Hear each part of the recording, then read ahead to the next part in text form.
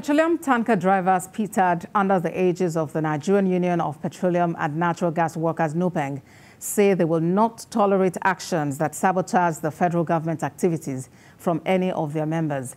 The Tanker Drivers Union's chairman, Augustine Egbon, made this known in Abuja. Correspondent Habida Lawal reports. The petroleum industries unions and associations are critical stakeholders in the sector and have been in existence for as long as the discovery of oil. They play a crucial role in the advancement of socio-economic development, making sure that government does the right thing. The petroleum tanker drivers under NUPENG, led by Augustine Egbon, now says it will not condone any act of sabotage or moves that will undermine the federal government. We loyal total support to the federal government, led by Ebola Tinubu. We will not sabotage his government. Anybody call for strike in PDD or NUPENG, illegally, we will hand over it to law enforcement agency. Union factions are a common sight not just in developing countries but in the developed world as well and these issues are sometimes driven by political or personal agenda. The petroleum tanker drivers are aware of diverse interests within their union and says any threat to their national body will invariably affect the sector.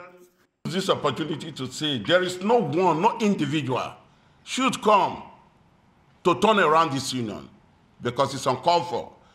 And I want to say, for selfish reason, self-centered, should not take this union back.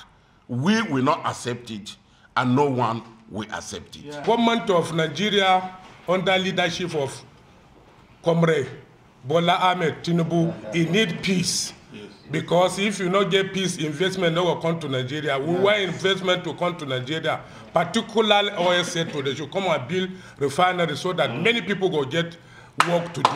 The tanker drivers appeal to their members nationwide to avoid embarking on any industrial action that will put the country in jeopardy success of the oil sector depends on how united its association is and the petroleum tanker drivers under Nupeng is pledging their unalloyed loyalty to the government of the day saying it will not engage in any activity that will sabotage government efforts in the oil sector.